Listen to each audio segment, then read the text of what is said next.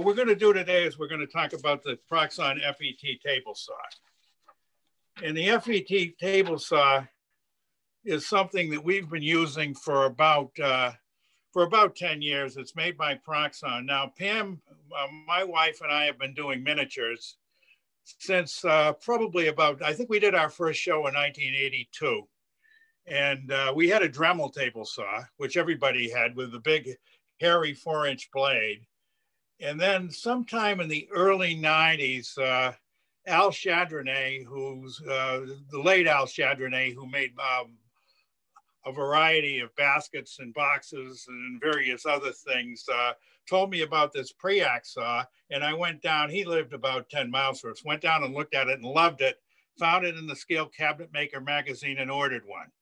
This little tiny saw and absolutely loved it and I loved it so much that I uh, I talked to the guy who made it and got permission to uh, to resell it. So I bought a number of them and started selling it at shows, and yeah. that was somewhere in the mid '90s. And we sold that until Charlie got sick and passed away in the uh, uh in the early 2000s, and we uh, got in touch with uh, Proxxon. We knew Proxxon made the software Micromark and we said, can we uh, sell the uh, Proxxon saw because Micromark wouldn't wholesale to us because we didn't have a storefront. So anyway, yeah, they said they would. So we did that and we sold the FKS Slant E, which is the saw that uh, is um, the same as the black Micromark saw that a lot of you probably have. Uh, and we did that up until probably about eight or 10 years ago. And then out of the blue, Proxxon discontinued this and came up with the FET. So we had to figure out how to use it. And uh, we, we figured it out pretty, pretty quickly and uh, started using it shows and we've been doing it ever since and we've sold quite a few of them. Uh, it's a European design machine. It's uh, uh, made in Taiwan. It's been sold in this country 2011. It comes with a carbide blade, which uh, is under this package of paper somewhere. Looks like this. You can see that pretty well. And that's too big for most things in miniatures, particularly for the small scalers.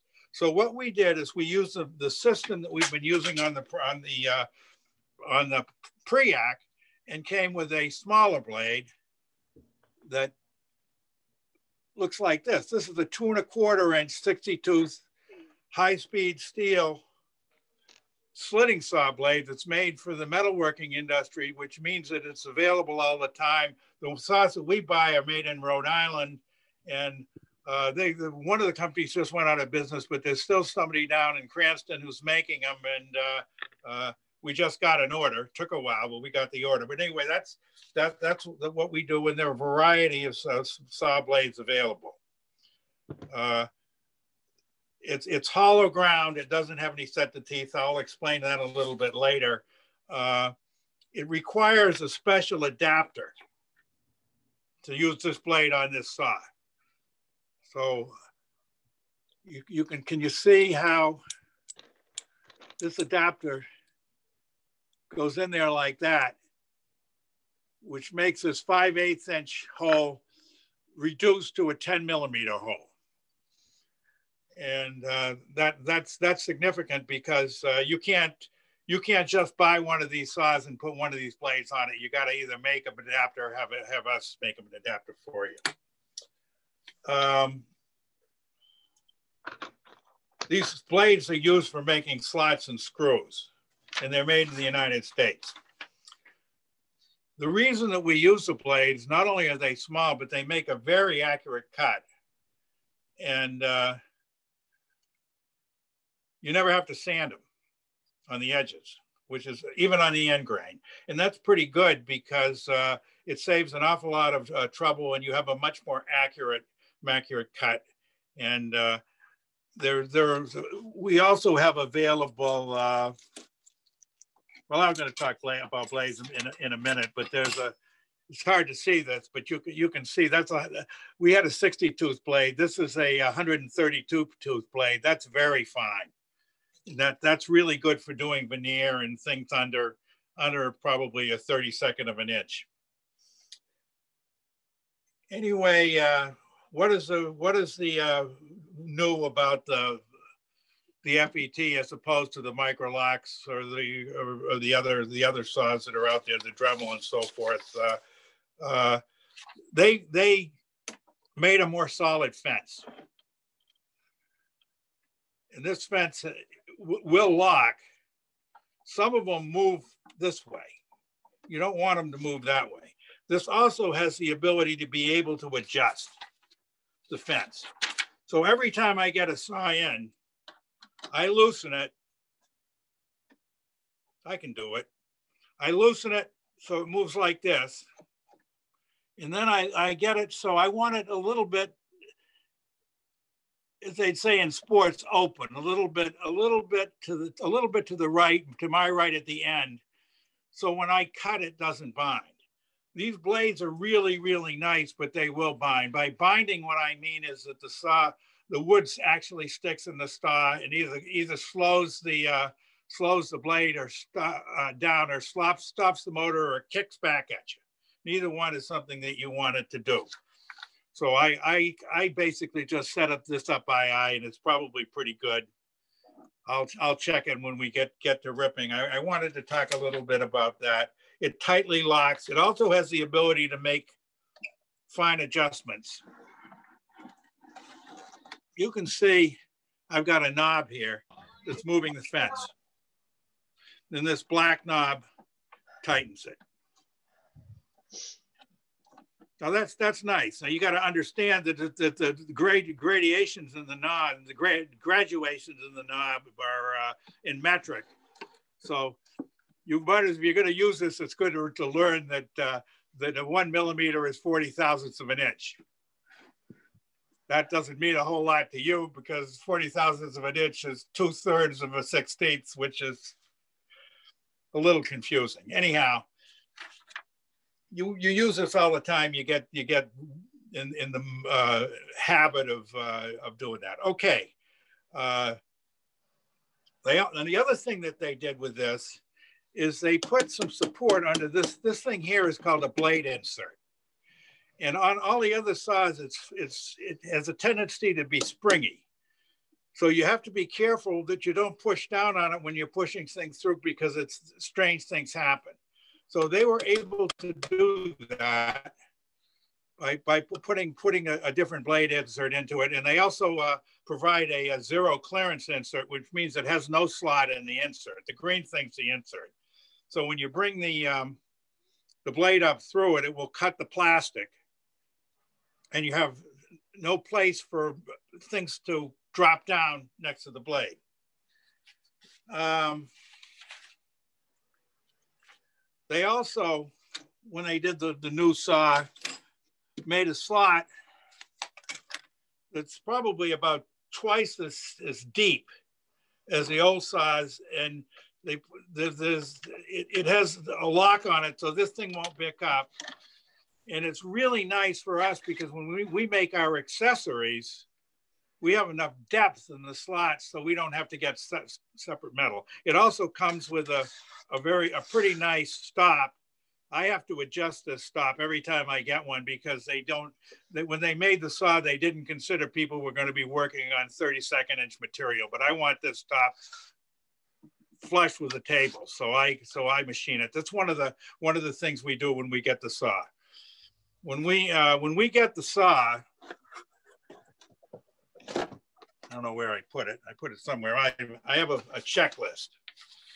Well, it doesn't matter. You don't need to see the checklist, but it's, it's, it's, it's just it's just a checklist. I've got a dozen items on it. I have to adjust the fence. I have to make sure that uh, the uh,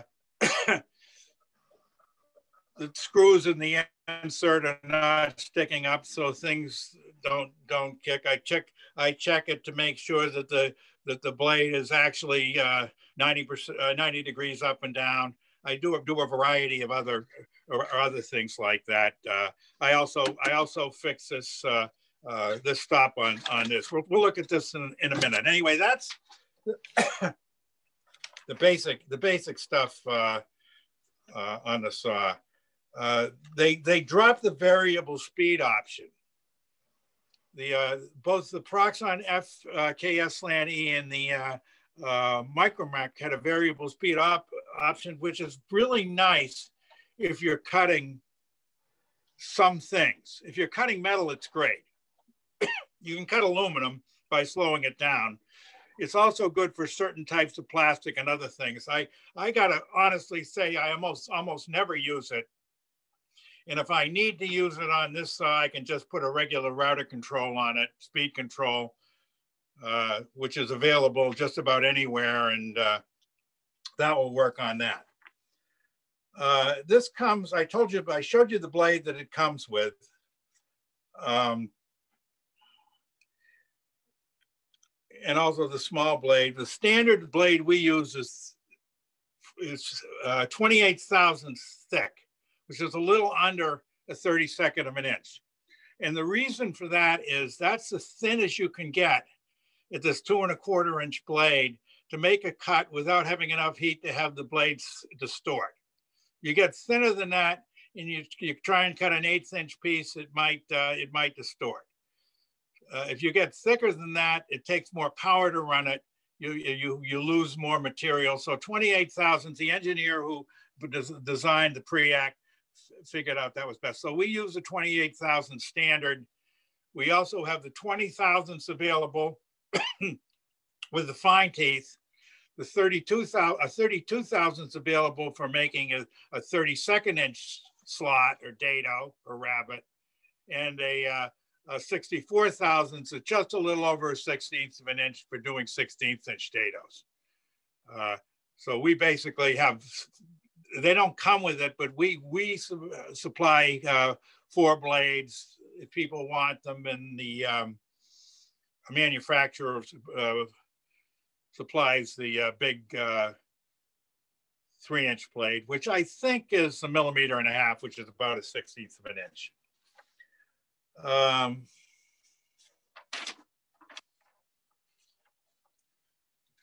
okay. What I want to do now is um, stop for a second. Does anybody have any general questions? And I'm going to go into operations next. If they, if they don't, I'll just keep going. All right, the first thing I'm going to show you is, is ripping. Now, ripping is a, is a technical term that's used in, in woodworking. Wood has a grain. And if you cut along the grain, it's called ripping. If you cut across the grain, it's called cross cutting. It's, it's, it's quite, quite different. When, when you rip, it's normally the long direction, but not always, just most of the time. Uh, just as a matter of course that, uh, that wood uh, uh swells and uh, shrinks about 10 times more across the grain than it does along the grain, which means that the grain is very important unless you happen to be using plywood. Anyway, if I want to rip something, I'm going to set the fence.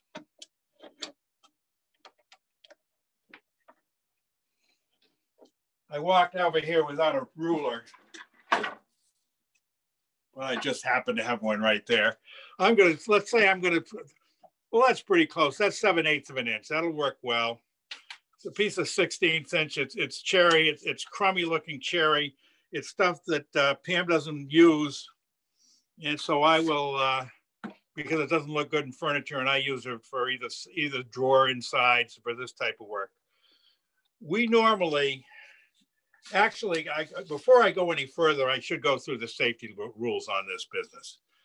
Uh, one of them is to obviously to unplug the, uh, the saw before you uh, change blades. Uh, another one is uh, Never raise your blade, which rate you can raise it and lower it.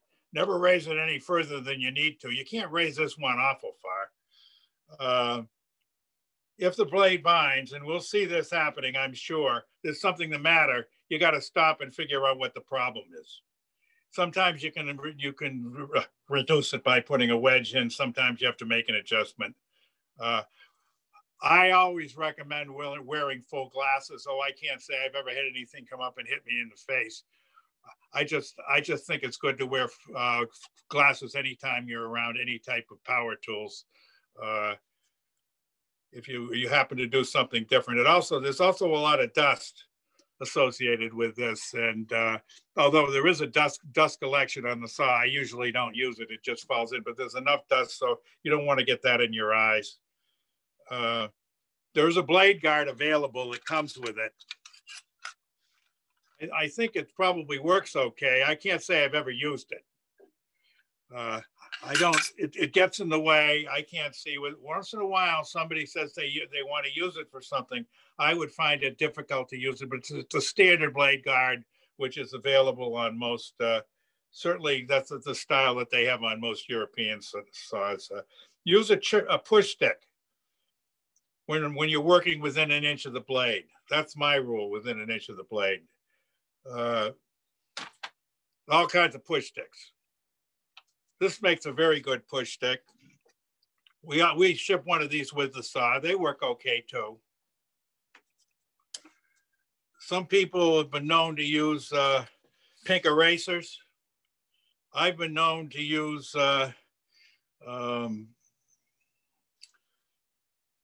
files or something, which isn't really a good idea, but it holds it. You just don't want to run it into your blade. It doesn't help the blade. Anyhow, but always use a push stick with when you're within an inch of the blade. And uh, the final thing I wanted to mention is never put your fingers beyond the center of the blade. Because what happens when you do, I'll show you when we're ripping. I'm going to start ripping. I, I set this up at 16th minute. Uh, I'm going to turn the saw on. Now, I normally what we do is we don't.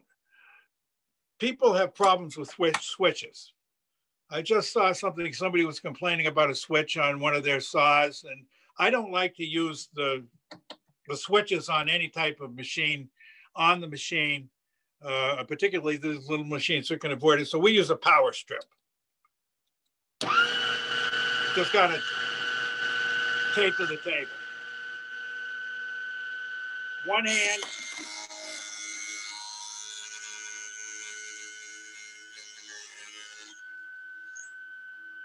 That's simple. Now, I'll set it up to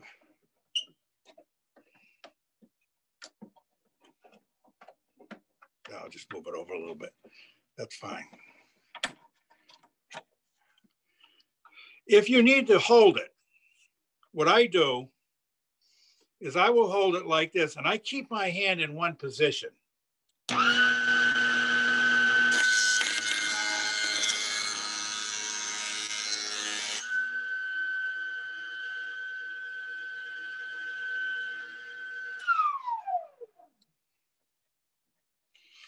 Now, if I don't do that,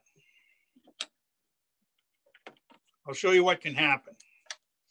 This is one of these don't try this at home things. If I push here, see what happens?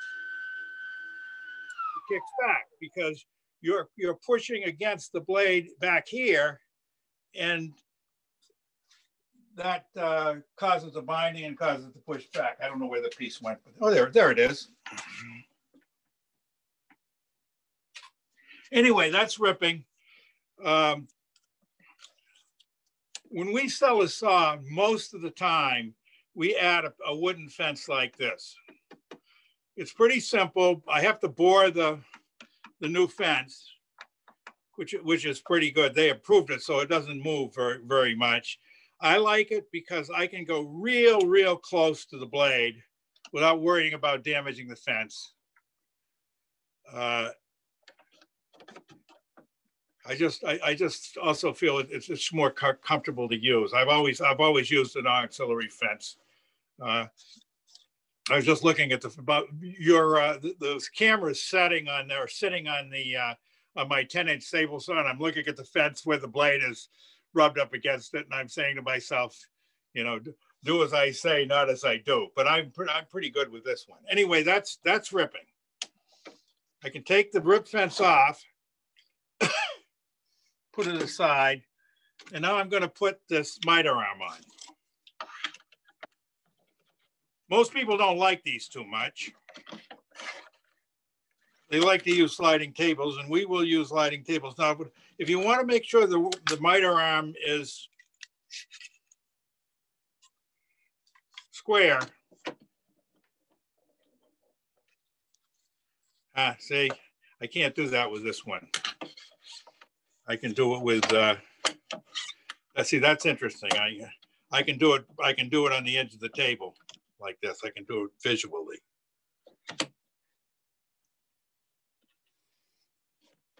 Or just take a square and put a put a square against it. That's no uh, problem.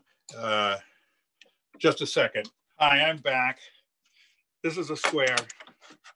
You just make sure that you don't want any. You don't want it open. See, that's open just a hair. So it wasn't. I, my eye wasn't good enough. I don't want any deviation at all on this, like I did on the fence. That's pretty good. Now, what this will cut across the grain. It'll cut along the grain too, but works like this.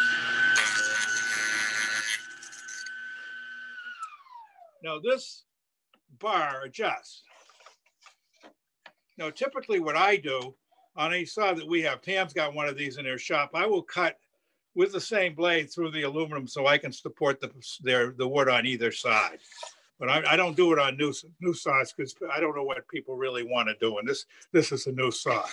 When, when we get saws into sell, we, we prefer to use them in workshop first or something like this. If we use them in, in a workshop or two before it goes to a customer, we're pretty darn sure any problems there are. And there are little problems with them that's that's one of the advantages of getting them for somebody like us who who basically knows where the problems are. Anyway, if you want to set the uh, of course, oh yeah, I did have a, have a ruler. Let's say we want to cut pieces an inch. We'll set an inch. The biggest problem we've had over the years with teaching classes with miniaturists has been people have problems reading scales or rulers. I, I don't have a I don't have a good solution for that. I, I know that Shannon has a good solution. She does it an entirely different method. I what what we generally do is if we're going to teach a class or do a lot of things, we'll we'll make patterns a particular size and color them, and we'll we'll just set up with those patterns so we, we aren't messing around with rulers all the all the time that, that works pretty, that's a little closer than I want to be for this demo. So I'll go here anyway. You can cut, you can do this.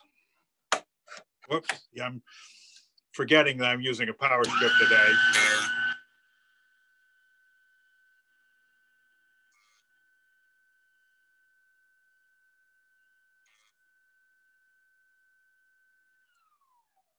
And I've got three pieces exactly right, same length, square that's that's pretty good. Now this is this thing is pretty good. I showed you how this works. You can also you can work it on this side, this side of the blade. The only time I ever use it on this side of the blade is when I'm doing bevels on small parts, and we're not going to get into it, but it is an advantage. If any of you have taken one of the one of our box classes, like at Guild School or something, you will realize that we do that because that that's how it holds against the stop. You you you don't want you don't want a thin edge holding it'll go underneath here. But anyway, it's nice to working on this side. It's also nice to be able to set any, any angle that you want on this. I will. I there is one caution. Never trust the markings, the protractor markings on one of these scales. On this particular saw, the one for the bevel on the saw itself is pretty good. And I always check that out. That's one of the things I check out on this one, this can this can vary a little bit. So I always use a protractor and double check. That's that's on big scale woodworking as well as small scale woodworking. Okay, the, the, that's the way, one way to cut crosscut. This is a preferred way for a lot of people. I make these. I make, they're made out of uh, polycarbonate, sometimes referred to as Lexan, and that's a GE trade name for it. Uh, it doesn't shatter. Same, same issue. You can, you can set the, set any distance you want here and cut. It's particularly nice on big pieces.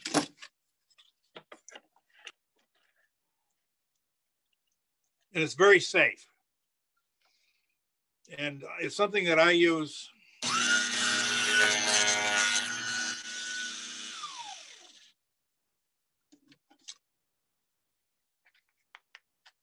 Yeah, that's good. Your eye is a really, really good measure, way of measuring things. If you've got a good square by looking at the light, will tell you a huge amount of information. So anyway, that's the sliding table. Uh, I would guess that 90% of the people who buy a table saw will buy the sliding table. It, uh, uh, and I, I, can also adjust this thing. They they made the slots a little bit wider, which made annoyed me a great deal until I realized that anything that has two bars in it, it gives me a better opportunity to get this so it doesn't jiggle. I don't want this doing moving. This is pretty good. I go through and I check all this stuff. I make sure that the slots are okay before I saw. Okay, that's a, that's a big sliding table. We also make a sliding table for miters.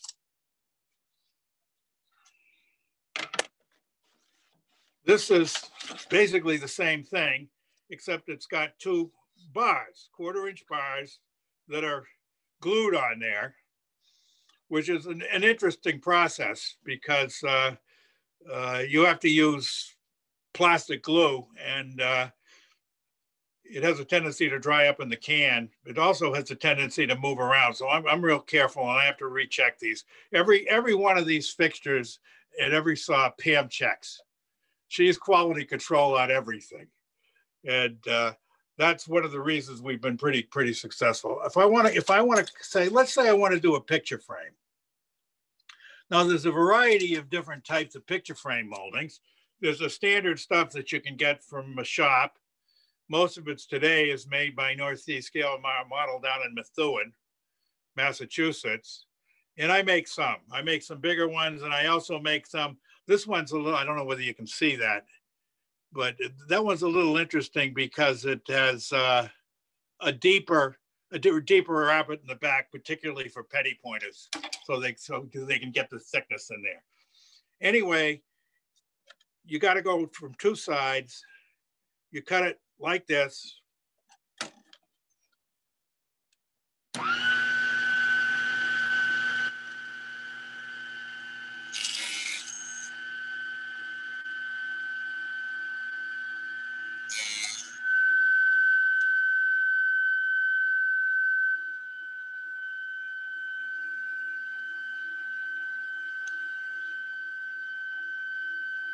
Reason I can't do this with just one fence is that I'd have to run the pieces through upside down. And that's not as accurate.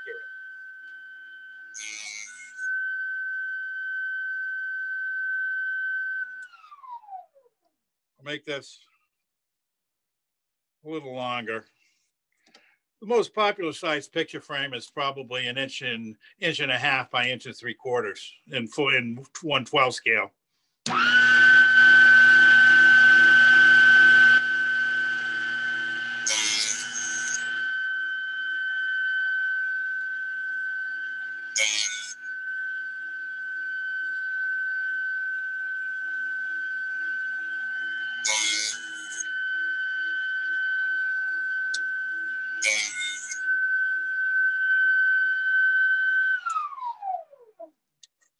So, uh, again, just a second. You've all seen gluing jig. Some, a lot of you have them. It's probably our most popular product over the years. I make them in three sizes.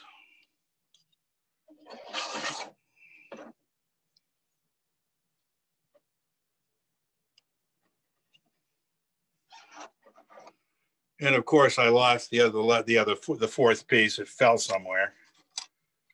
There it is, still in the, a little bit of glue. I used to make them this way, put them together like that. Pam makes most of them now. She does them. She does it. Does a, an L and an L and then puts them together. That's more accurate. Uh, but anyway, that's that's one of the things that this will do. Uh, this thing is also very excellent for um, trimming out windows. I mean, you can go with something. Well, I, I said that was about that. That's about five eighths of an inch that'll that'll do a do a good job on on trimming out windows.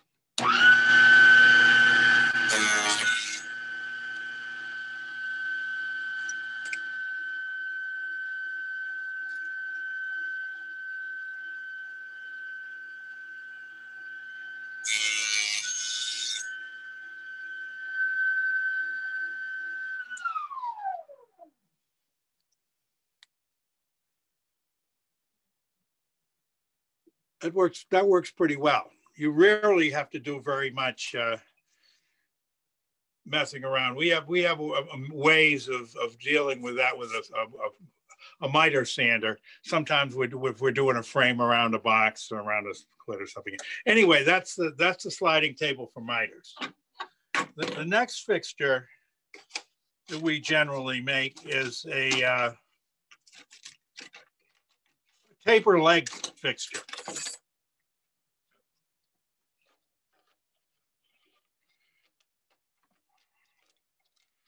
And that has a rubber band around it, so it doesn't fit down into the slot very well. There it goes.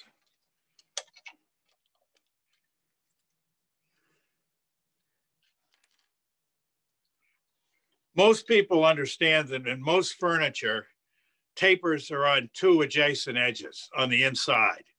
You rarely see a taper leg table that has tapers all the way around with the exception of if you've got a third leg in the middle, you might have it three three ways on the back and on the two sides, but you'd never see the taper on the front. You set this up so it looks like this.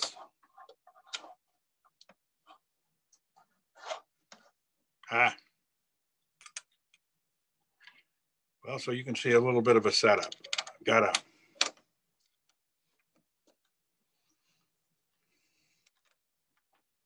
pretty straightforward as setups go.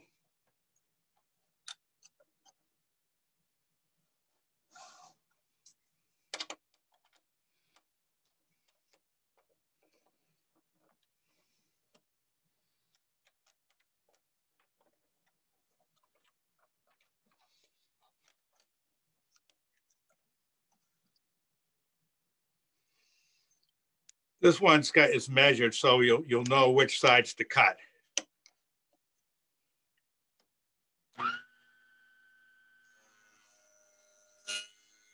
Whoops, saw's not high enough. There it is.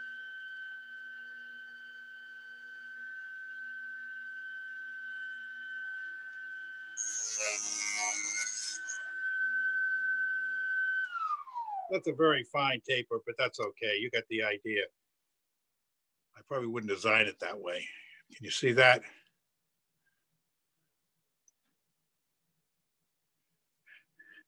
That's basically all that this does, but it will do it for uh, just about any size because I can adjust it this way. These uh, that particular fixture will work on the uh, Microlux. There's enough. The two sliding tables won't. Uh, okay, let me look at my notes here and see where I am. I was, oh yeah, I wanted to show you bevels. Okay, the reason for a tilting arbor saw is to cut bevels. Now, in order to cut a bevel, I have to remove this, and I'm gonna unplug it to do this. I have to remove this insert.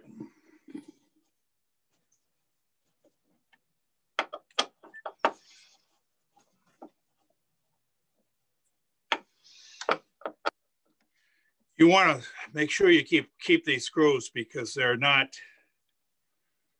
that readily available. They're metric. I mean, it's not impossible, and I, I keep a stash of them, but uh, and you you wouldn't you wouldn't be out of business if you couldn't couldn't uh, if you only had two of them for a while. But uh, they were hard to find. I finally found a hundred of them in Grainger of all places, which uh, surprised me. Ah.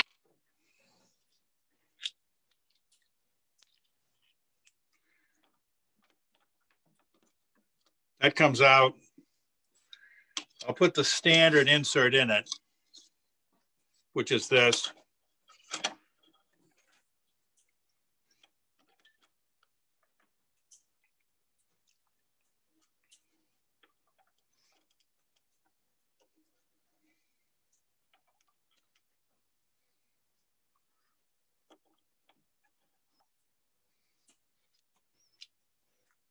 Hmm. I was so busily talking about the screws that I've lost one of them. I don't think it could have gone awful far, but I'm not going to waste everybody's time by hunting for a screw. And I didn't hear it go clinking into the saw, so I don't know where it is. It's in the it's in the insert. It's the first place I looked. See, it's it's stuck in here.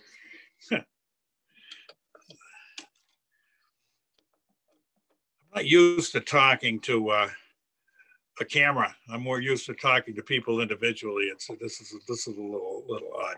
Anyway, I'm going to turn this around so you can see it, sort of see it. Bring the camera down a little.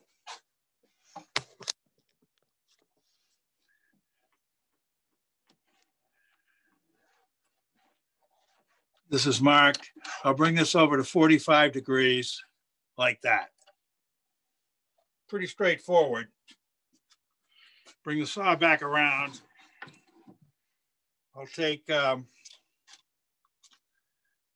oh, I had, I cut some pieces out just to do this.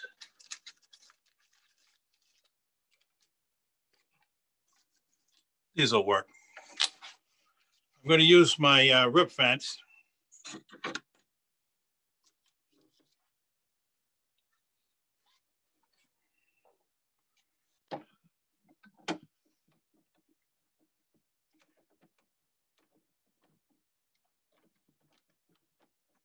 This is always a little tricky to put this on. You got to fiddle with it.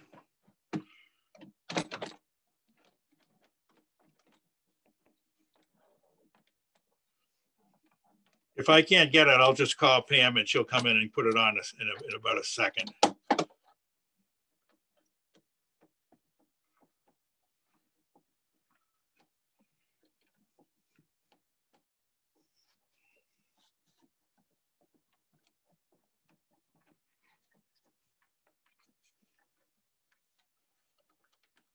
There it is.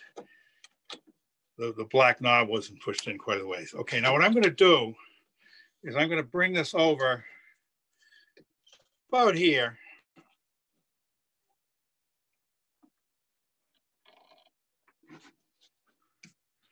And uh, a push deck, plug the saw back in.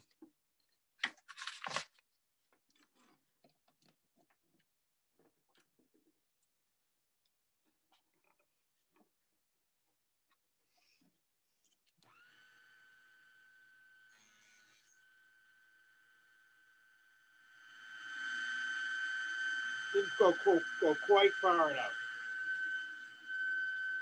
That's good.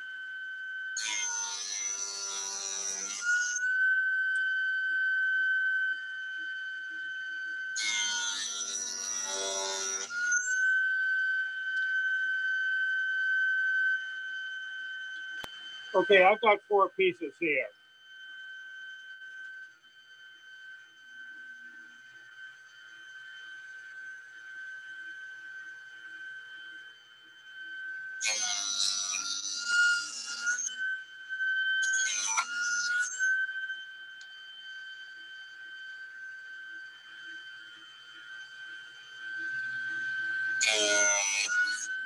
One push stick works better one for one thing than another?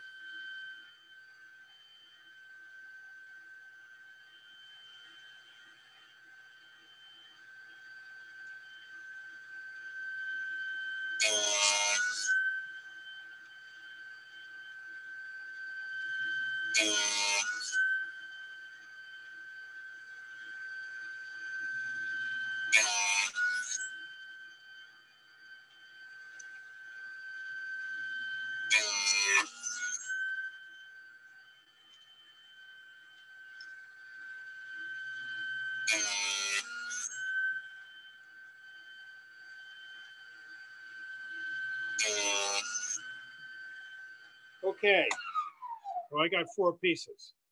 And what I'm gonna do is just a little, little demo. I'm gonna get a uh, little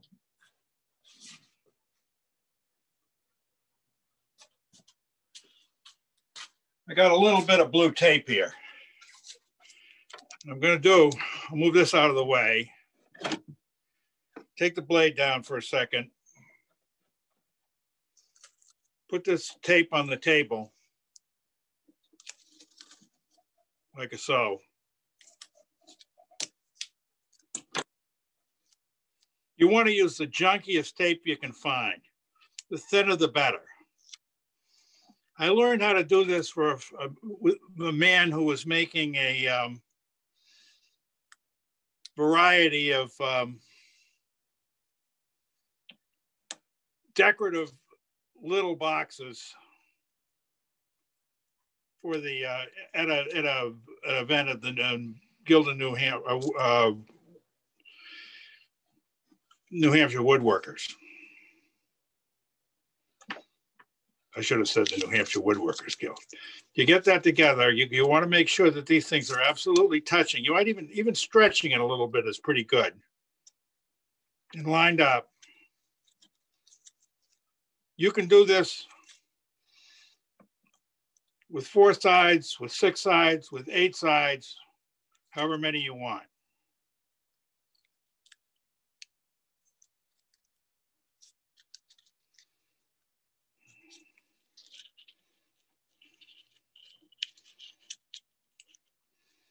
well, that didn't true to form. But you can see that'll make a, a perfect box.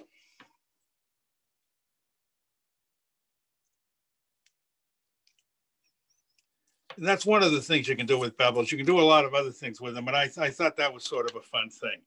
Okay, my next, the, the next act on this uh, is I want to talk a little bit about uh, uh, blade changes and finger joints. And what I'm going to do is I'm going to have Pam come in and do this because she's uh, um, she does it all the time. She's good at it, and I want to. I, I she's she's very very involved. So I'm Pam, ready for you.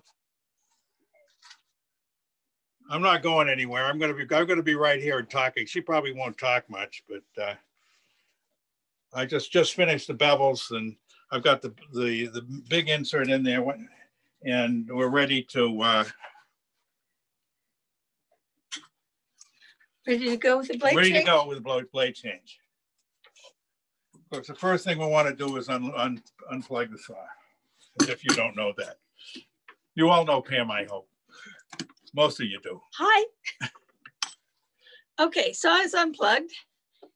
And the first thing I'm going to do, there are two uh, little Allen wrenches that uh, come with the saw. Take the smaller of the two and drop it down this hole in here and rotate the blade by hand till it drops further down and the blade will only wiggle so far. That keeps it stable while you uh, uh, work on the rest of this. Now I'm going to unscrew a little yellow knob with a washer that's on the front here. Looks like this.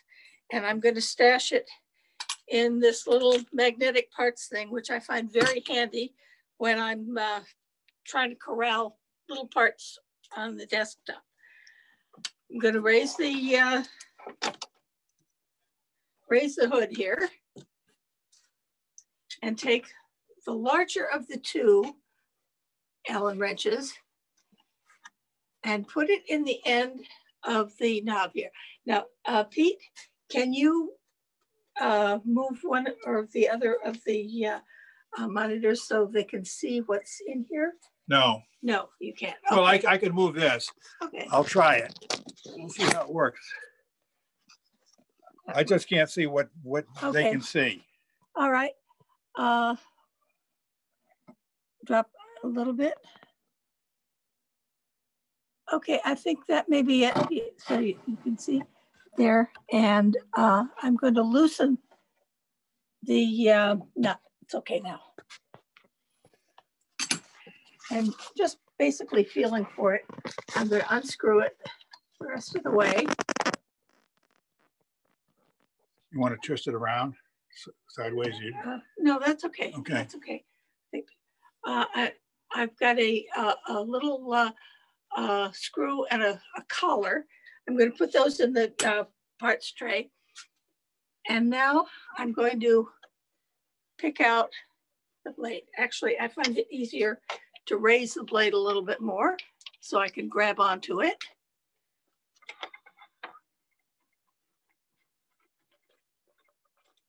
It is coming out of there with the uh, uh, bushing that holds it in place.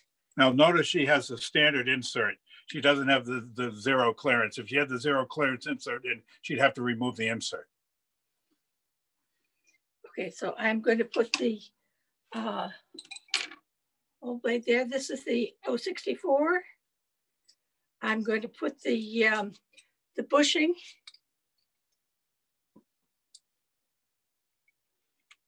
in there.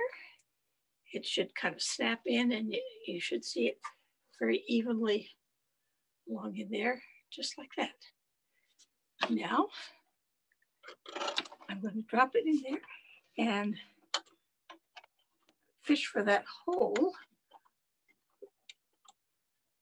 I think I may have to drop it down a little bit.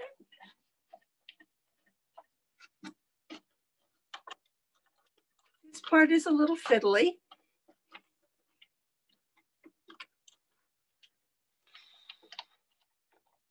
I'm used to doing it with no insert in there at all, so it's a little Okay.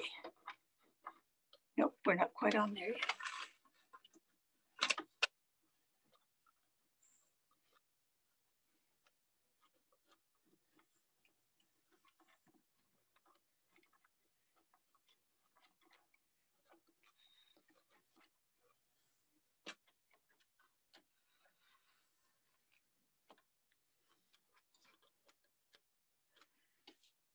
Know, I've got to get that insert out of there, Pete.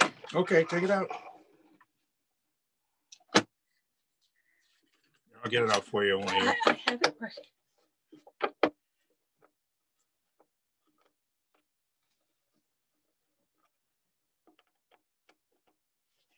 It's gotten uh, a little off kilter there, and that's not going to work. So I need a little bit more access.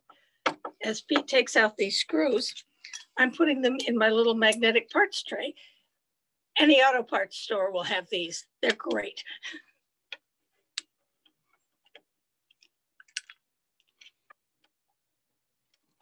Where to go? Don't worry about it. We'll Maybe deal with it. down inside. Don't don't worry about it. Let's just get that out of there. Okay. Do what to. All right.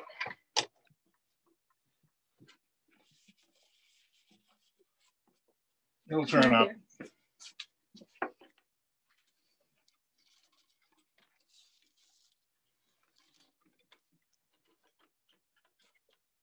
Okay.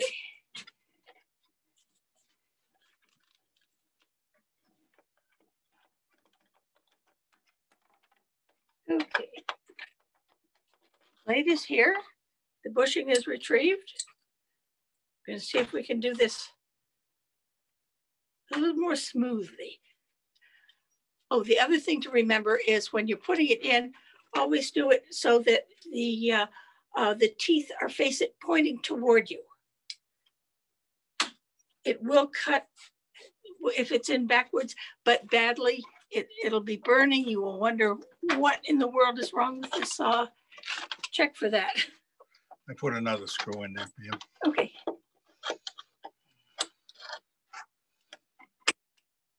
Okay, now I, I felt that click in very nicely. And so I'm going to take the screw and the collar.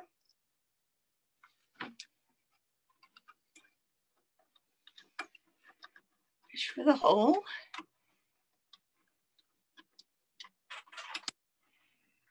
And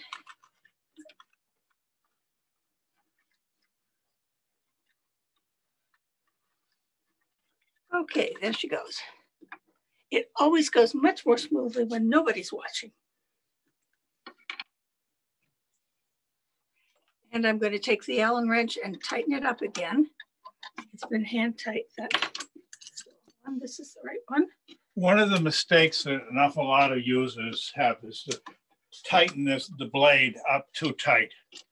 It doesn't need to be that tight. It needs to be just just to a bearing a little bit, but don't tighten it real, real tight because then it's hard to get off.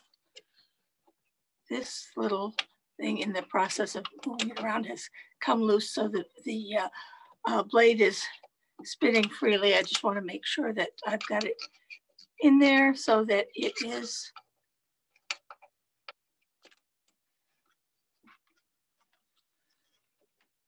there.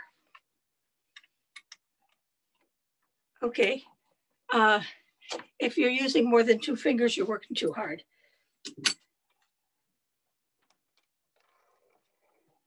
Now, before I do anything else, I'm going to rotate this. Nope. Nope, it's it's not on properly. I'm going to take the phone off and I want to show them that. You can see it's it's um, oscillating a bit. It's higher at one point and lower at another. Okay. On there properly.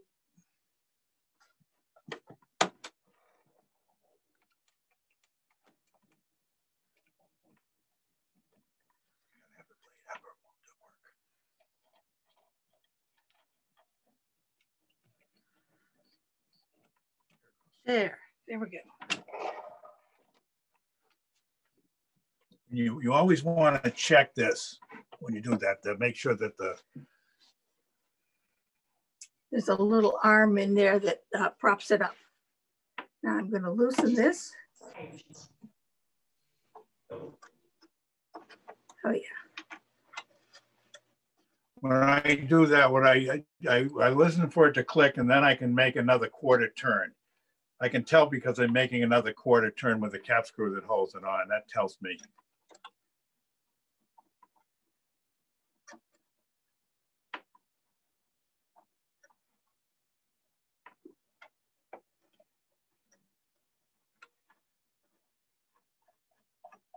that That looks good. even? I think so. Okay.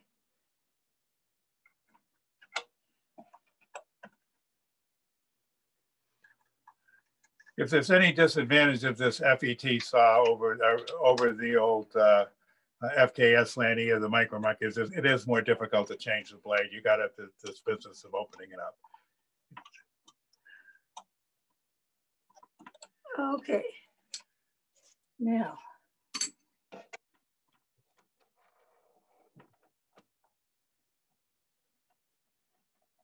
Okay, we are happy with this now. Okay, you want me to go ahead? It's all yours. Okay, I'm gonna, first thing I'm gonna do is, uh, could I have the, uh, I need, I'm gonna need that, that, inf- that stuff you've got there, Pam. I need the screws and I need the, uh, little yellow. I'm gonna put this, I'm gonna lock, lock the saw first. With, with the yellow thing.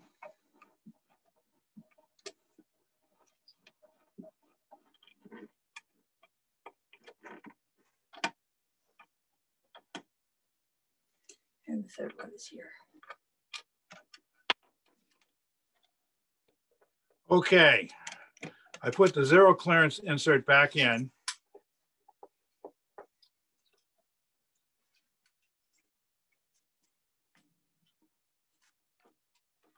I'm not sure why they put three screws here. I think two would have been that enough. German engineers, they do strange things sometimes. That just makes it, makes it, that takes it a little bit longer.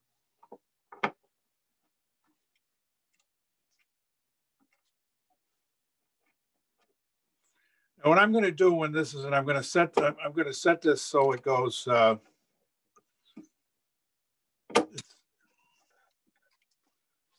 this is the right size, it should be. Well, I don't know, I'm not gonna worry about it. It may not be the right size, I'll find the other one later. That'll be fine. What I'm gonna do is I'm gonna take a couple pieces of 16th inch material. Right here. I'm all set. Okay. Fine. Why?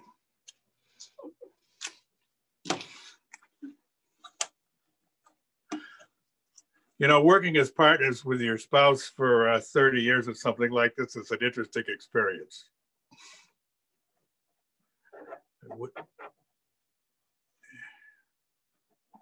Now, what I'm doing is I'm writing, I'm sliding this back and forth until I can just feel it, the touch of it. Then what I'm going to do is I'm going to take this final fixture, which is for cutting finger joints or box joints. I'll Put that on.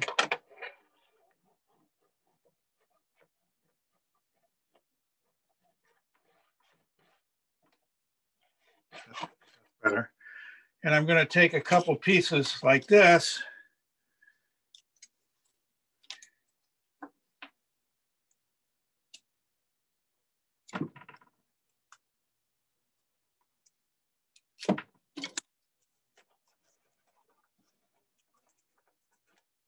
Make sure this thing is square. Plug the saw in. Turn this on.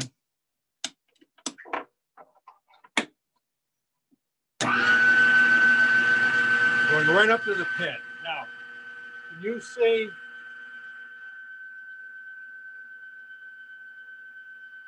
There's a pin.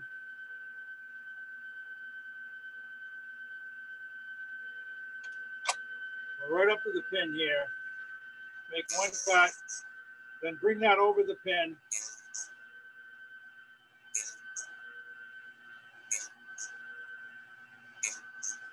Some people call these dovetails, they're not dovetails, they're finger joints. And I, they need to be offset by one, one uh, increment, which happens to be a sixteenth of an inch.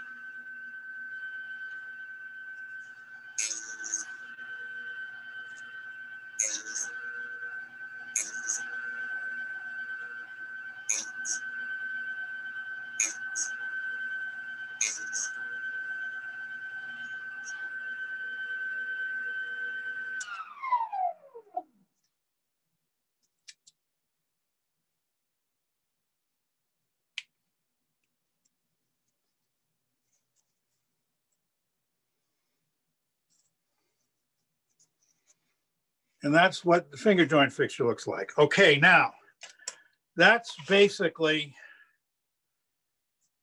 the last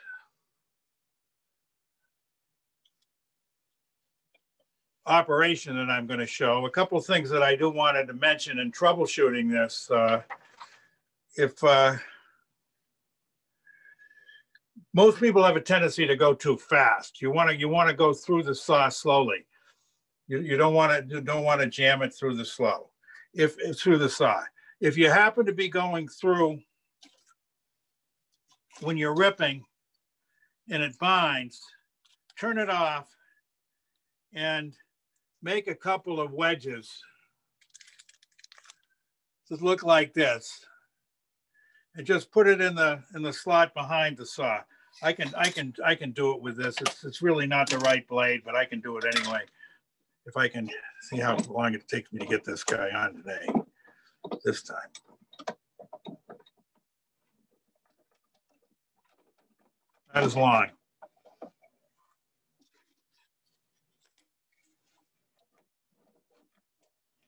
I'm going to bring this up. This is a wide, a thick blade, so it it'll sound a little bit different.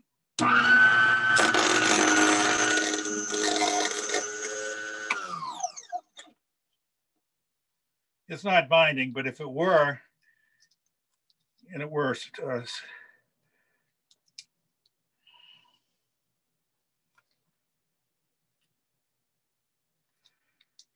a uh, 20, 28 thousandths blade, you would um,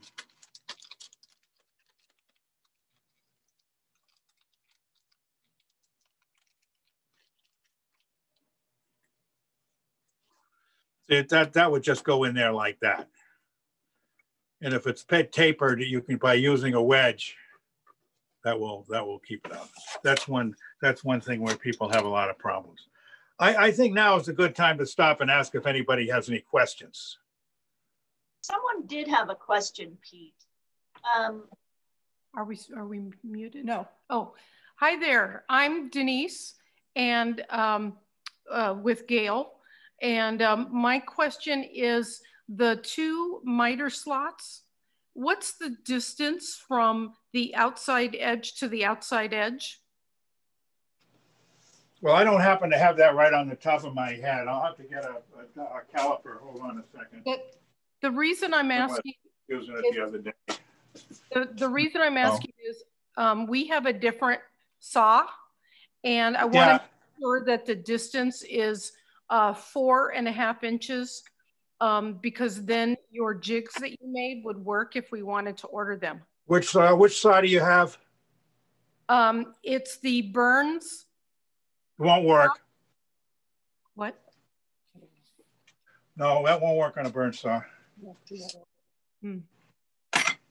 It's a different, the burn, he, I, I think he uses a, a half inch uh, size. That's to, that, that's about four and an eighth, but uh, it, um, these slots are 340 thousandths. Ah, okay, yeah, his his slots are exactly half inch. Yeah, I know. It's like he, he just copied the Preac and made it bigger. We, we always call it a Preac on steroids.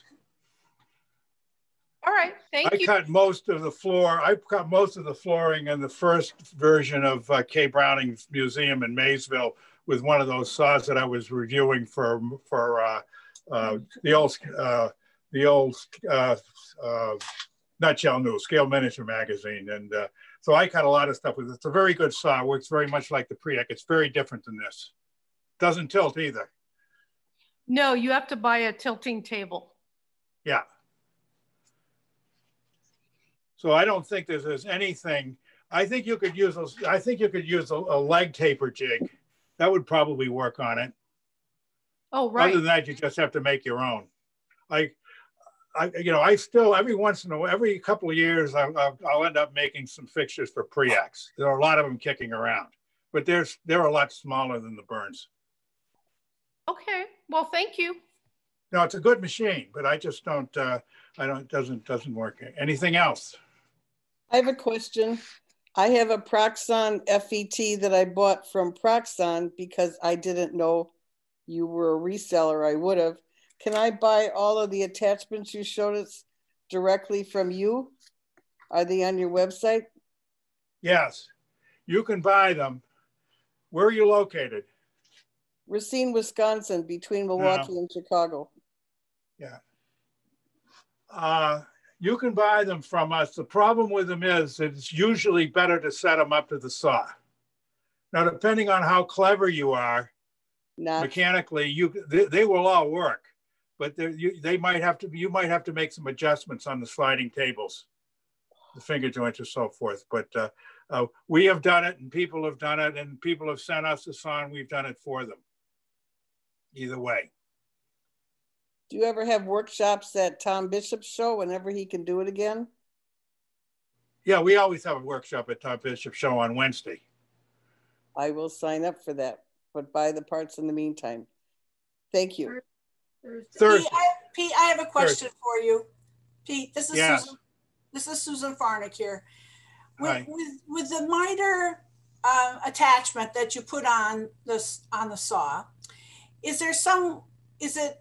Can you extend it to make longer lengths by just putting a, a- another little piece of wood on the on one of the miters? Um, so Yes, you you can cut a longer length. You can, not only can you extend it, but you can also put it closer to the blade if you're doing shorter things. And we, we, we do that, we use our best friend, double, uh, double face carpet tape. As a matter of fact, I even brought some in because I knew that this question was likely to come up. And, you know, for those of, for those of you who have the dig- indignity of going to Walmart, this is, uh, this is what it is. This works very well.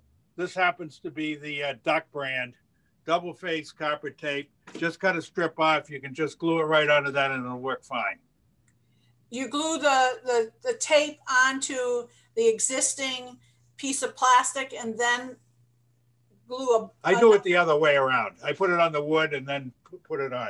As a Oh, matter of okay. Pam just came in with something. Mine. Okay.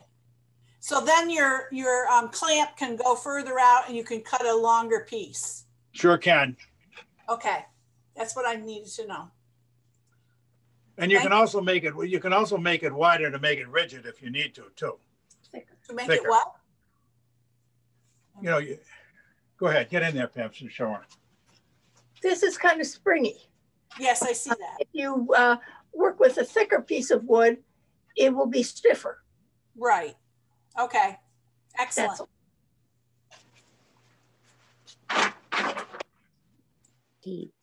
Pete, can Next. I ask a question about the fence, the rip fence?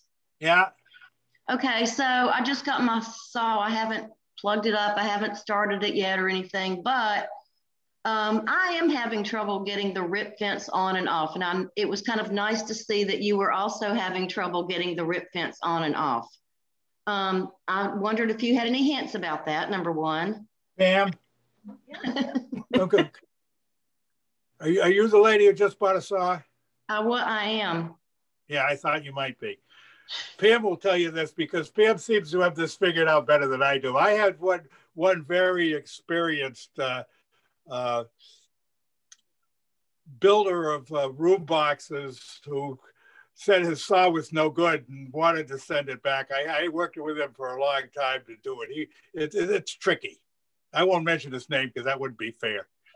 Some of you might figure it out. Come on, you. Oh, I Yeah, don't know what the question is. getting the fence on. Oh, okay. I'm going to turn this around a little bit.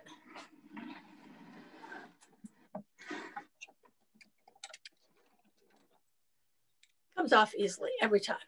No, it doesn't. Uh, I I- Oh, it loosen, loosen the yellow, use, loosen the Yeah. yellow knob.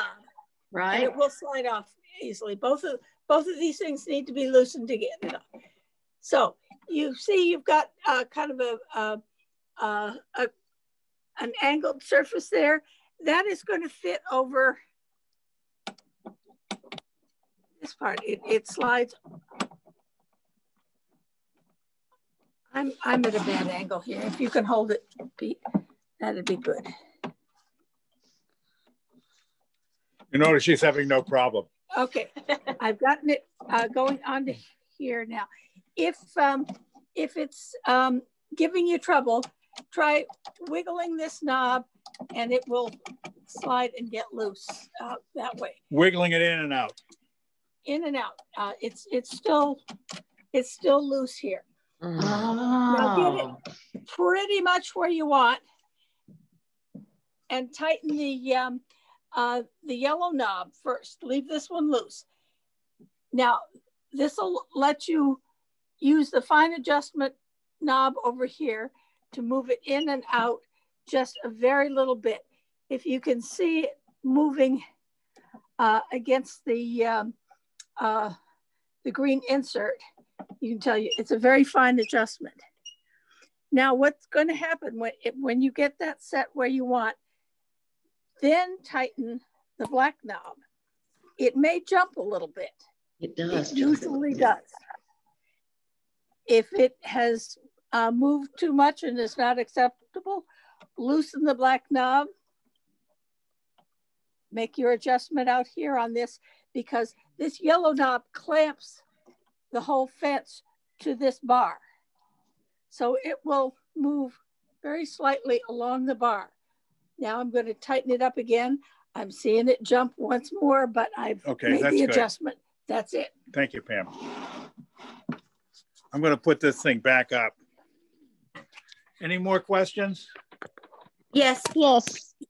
Um, did you change the blade to a bigger blade before you did the finger joints? Is that why you changed the blade? Yes, we went from a Okay. 28,000 thick to a 64,000 thick blade. Okay, thank you very much.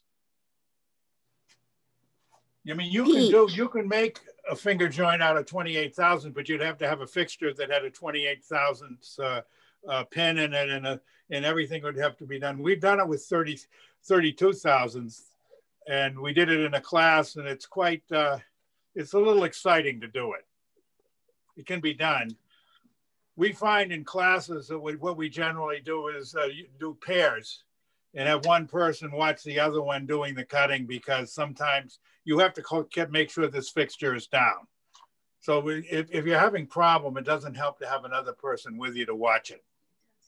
Thank you. I mean, it doesn't hurt. Yes. Doesn't hurt, yeah.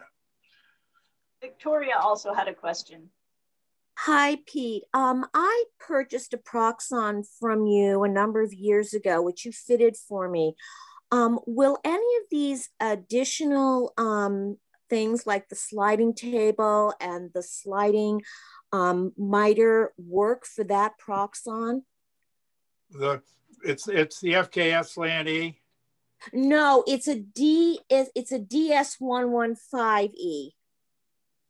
I don't know what that is. Well, that's the model I had. Yeah, did you get that from us? Um, yeah, year probably over a decade ago, when you first started selling the Proxxons. Yeah, it's the FKS Land E. Uh, it, I'm going to take the camera off for a second. And it's, uh, whoops, I got this thing plugged in. Is it this one? Um, you know, it. do- Yeah, it looks like that one. Okay. Yeah, that that's The, uh, it. the, That's the it. slots aren't deep enough.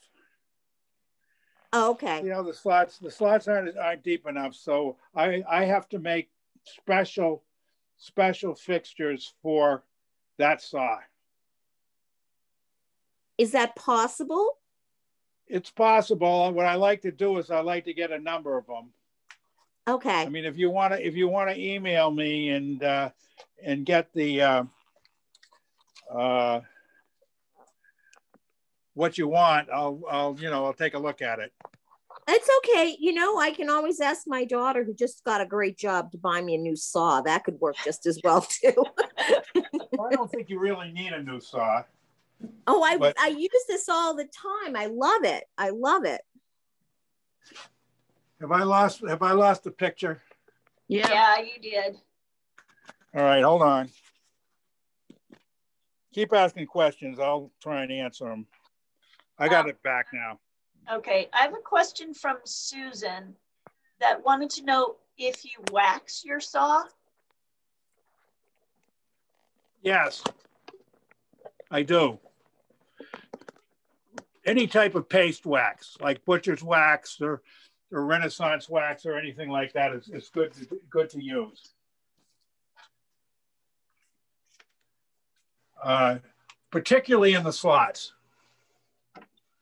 And uh, anytime, anytime on the table, anytime that you're sliding anything over anything, it's good to wax it on any of your equipment.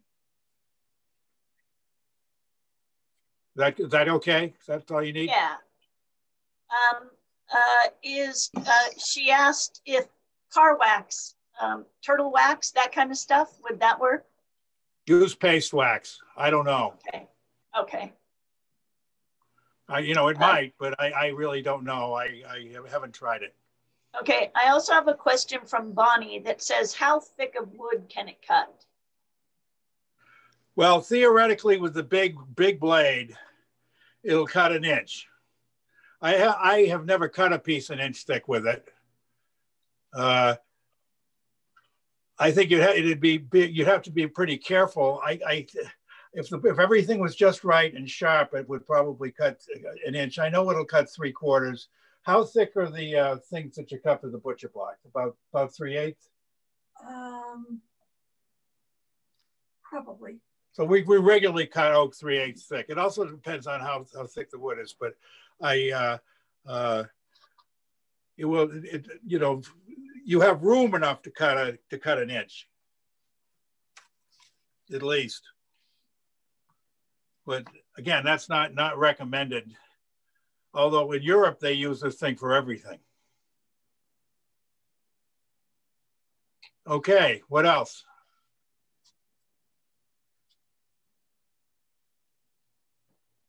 Anything else? Well, thank you very much, Pete. Um, we really appreciate Okay, before this. before I go, before I go, a couple of things. One of them is that uh, Roy asked me to give people an idea what the general general overall cost of this is, and it's around with everything. It's around six hundred dollars. With the with the, the basic saw, with with just the and the minor stuff is about three twenty or about four twenty five. The second thing I wanted to ask whether anybody wanted to stick stick around and spend spend ten minutes and have a shop tour. I do. Sure. Sure, okay. It's going to be a little yes, rocky. Yes, yeah. Um, yeah. I'm seeing lots of yeses in the, um, oh yeah, there's a ton of yeses in the chat room, Pete. So I think they okay, are very I will. interested. My, my issue with it is everybody that I, I can't, I can't turn my, my phone around. So I'm going to just have to point it at it and hope it works. Why don't you try and get on? Pam's going to try and get on with her, uh, her uh, iPad and see if she, if there's room. And what I'll do is I'll, I'll drop off this one. Uh, I'll leave from the, the one I was trying to use that wasn't working. That should give a space. And then she can do it. I did the have, yeah, go ahead. um, I did have another question that Susan asked. Um, what does it mean when your saw gets a high pitched sound? A high pitched sound. When you're cutting or when you're not cutting? Um, my guess is when you're cutting. That's that's just a, a form of binding. It means it means that, that, that the, the back the back of the kerf on the back of the blade is probably rubbing in some fashion. If it if it happens when you're not cutting, it could be a lot of things. And while You you're waiting for, Uh, for the I tour, I am- also had another question. Yeah, go ahead. Pam, Pam wants to know Sure. how much the saw weighs. How heavy is it? What is it when you ship it? when you ship weight it? is 26 pounds. 26 pounds. Okay, you got to turn. Okay, you got to turn the audio off.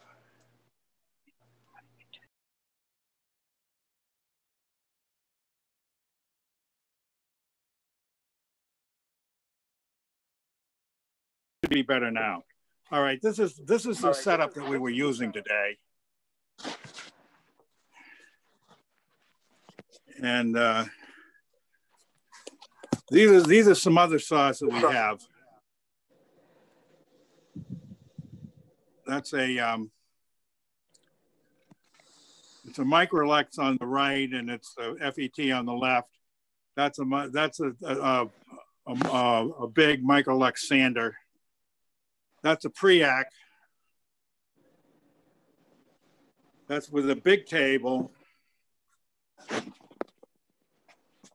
That's a Preac with a small table. And I, that's this is this is my little shop where I do a lot of metal work. And you see, there's a few pliers, a spray booth, a drill press, a little a Micromark drill press, which is pretty good. And uh, Then I've got, it's a full woodworking shop, the thickness sander for doing the lumber, the, um, the planer, one duplicate lathe, that's the Taig. And that's the uh, Carbatec duplicate lathe. This area over here is uh, metalworking with a uh, shear, Sherline lathe, a Sherline uh, mill on the uh, on the left and a Taig mill on the right, and of course a big drill press, a tapping machine, and a variety of other odds and ends of things.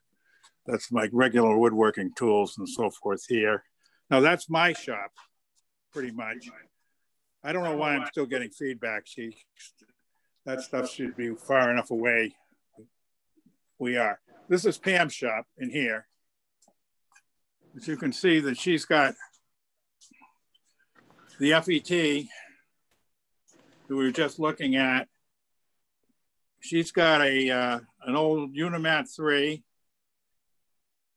a Carbatec duplicator lathe, a Preac saw, she's got our, a, a scroll saw, Cameron drill press, and a, an, uh, an MF70 uh, mill and a, a shaper they don't make anymore, as well as a sander. Now that's a lot of stuff. I think uh, you you can you can you can see. Um, you can also get an indication of how much stuff we have process stored those are all parts, finished projects and so forth in here. I've got the basic same thing in here.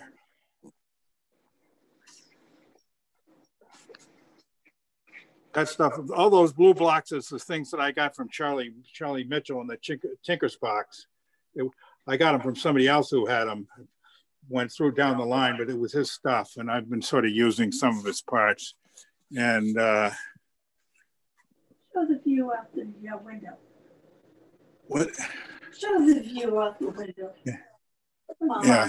Okay. I, yeah. Pam says show the view out the window. that's that's what that's Seven's Pond out there, the 25 oh, acre pond. And uh, there's nobody on it right now. Just just snow. And uh, I think that, that anybody got any question about any of that stuff? It's a little overwhelming. And I got all this feedback.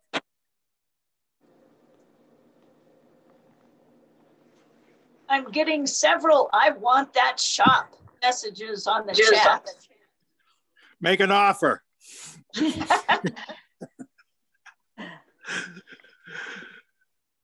uh,